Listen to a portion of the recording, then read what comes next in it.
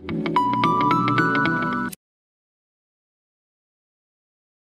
မကတချင်းရဲ့စာသားလေးကိုပြောပြပါမယ်ပြိတ္တကခေါင်းစဉ်တော်ရွတ်ပြပေးပါအောင်နော်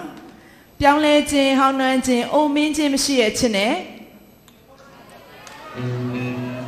ယူစနာကိုခေါ်လိုက်ပါမယ်နော်ယူစနာကြပါ